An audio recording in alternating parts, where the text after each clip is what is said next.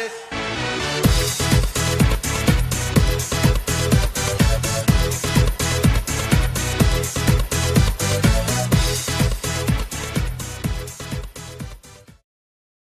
Welcome to this week's edition of the Bronco Weekly Sports Wrap. I'm Lauren Matheson. And I'm John Nash. Well, hey, Lauren, the women's basketball team picked up a sweep this past weekend, winning on the road in Malibu for the first time since 2008, and then coming home and defeating USF on Saturday. Our very own Nikki Gilday had a chance to talk with Talisha Anderson about last week's games as well as the upcoming week.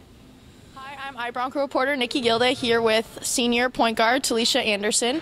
Um, so, T, we had two big wins this week um, Pepperdine on the road and USF at home. What was the key to getting those two wins this week? Um, it came down to defensive execution and moving the ball on offense, getting the getting touches inside and getting the guards good looks on the outside. Um, this week we have a big game against St. Mary's at home on Thursday. Um, what are what's the focus in practice this week, and what are we looking to focus on for the game? Um, we're working on we're really working on the on balls. Um, they do a lot of on ball screens and slips, so we're working on getting our post hedging. Well, we're doing a bunch of different ways to to guard the on ball, so that's going to be our main challenge. Um, and we'd like to see some more fans out there, some more Ruff Riders. Do you have anything you want to shout out to the Ruff Riders? Ruff Riders, come out and support your Lady Broncos. Women's basketball team will be back here inside the Leavey Center on Thursday against St. Mary's, 7 o'clock start, and then on Saturday against Portland, 2 o'clock. Come out and support the Santa Clara women's basketball team. Well, John, earlier this week you were able to meet with Kevin Foster, who was this week's WCC Player of the Week. Check it out. Joined by Kevin Foster, this week's WCC Player of the Week. And Kevin shot 62% from the field last week, 28 points per game. What made you guys so successful out there and getting the two wins? You know, we were just moving the ball really well. Uh, we had to come back strong from the, from the last week, and uh, we did. Uh, it was a, a, total effort, and it started in practice, and it just carried over to the game.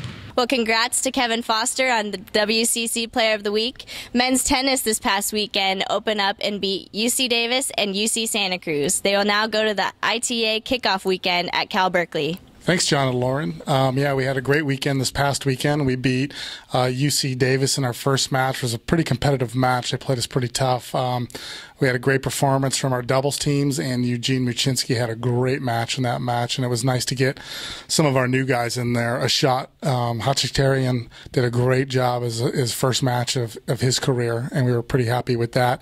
And then we finished the weekend off with uh, Santa Cruz later on that day, and we got both of our freshmen in that one. So that was good to have them get the experience. And we, we did a really good job of just taking care of business in that one. Um, and then also, we're looking forward to this weekend where we start with the ITA kickoff against the University of Michigan. It's we got our hands full. They're a great team. Um, hopefully, we can bring our A game because we're going to definitely need it. And in that group of four with Boise State and also Cal, we're going to have two great matches this weekend up in Berkeley. So if anybody's available, hopefully the weather will be great and you can come support the Bronco uh, men's tennis team in Berkeley this whole weekend. Well, Lauren, the women's team had a successful weekend opening their season at the Cal Berkeley Invite, highlighted by Katie Lee knocking off the number nine rated player in the nation. Head coach Ben Cabell had a chance to talk about that, as well as the upcoming match against UC Santa Cruz this weekend. All right, thanks, John and Lauren. This is uh, Coach Ben Cabell from Women's Tennis. Just wanted to talk a little bit about our uh, past weekend at the Cal Winter Invite. We had a very successful weekend. The team started off playing against St. Mary's. Um, and we did we did a great job. They're one of the top teams in the conference, and we played them really tough up and down the line. Uh, probably highlighted by Jessica Agra and Stephanie Scaras winning two uh, very tough three set matches. Um, and our day on Sunday was probably highlighted by uh, junior Katie Lee beating the number nine player in the country from Cal Berkeley. Um, it's the biggest win we've ever had in our history of our program. And for her, it's going to put her in the top, probably within the top 15 to 20 players in the nation right now. Good luck to the women's tennis team this weekend. Also, John, our very own Callie Rice, got the scoop with Lexi Williamson on the t shirt drive. Thanks, Lauren and John.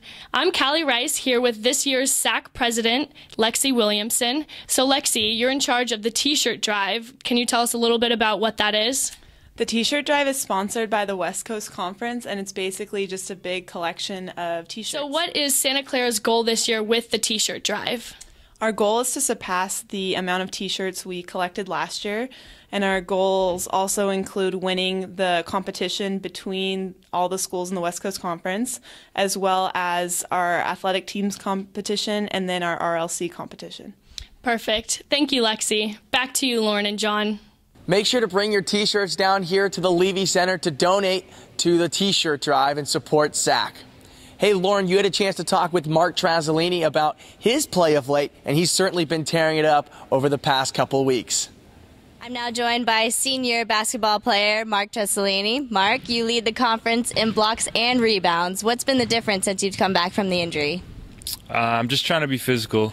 I put on a lot of weight in the off season, and just trying to use that down low and be really as aggressive as I can. It's worked out well for you. Also, fellow Bronco Eric Hurtado from the men's soccer team was drafted fifth overall in the MLS draft this past week. What are your thoughts on that? Yeah, I'm really excited for Eric. First of all, congratulations. I don't think I've seen him yet, um, but I'm really excited for him to be uh, to be part of the Vancouver Whitecaps. Um, I'm, I'm a big fan of them, and I think definitely when I go home, I'll check out a few games and, and hopefully see him scoring some goals. Uh, speaking of your home, you're from the lovely land of Canada, uh, which is also big in hockey, and now the NHL is um, off its lockout. What are your thoughts on that? Yeah, um, I don't know how much people care around here, um, but I'm really excited for uh, for the hockey season to be back. Um, my Canucks aren't doing so good so far, but it's a long season. Actually, it's pretty short this year. It's only it's only a few games this year, but I'm looking forward to uh, to seeing them uh, get back to the playoffs and hopefully make a run at the uh, Stanley Cup. Okay. Well, thanks for joining me again. And that's it for this week's edition of the Bronco Weekly Sports Wrap. Go Broncos!